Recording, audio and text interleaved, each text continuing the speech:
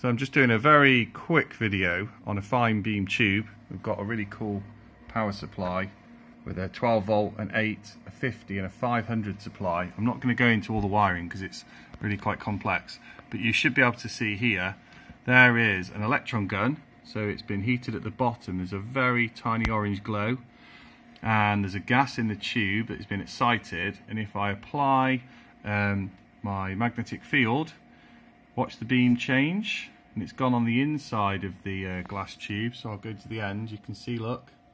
The radius is changing because there are two Helmholtz coils one on each side and the field is going into or out of the page depending on which way you think about it. You can decide on the video afterwards.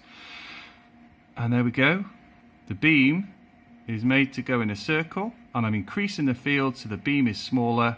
And from that beam radius size we can work out the magnetic field and from the whole of the experiment by knowing the accelerating anode potential differences and things we can work out the ratio of E over M, one of the most famous experiments in the world of physics.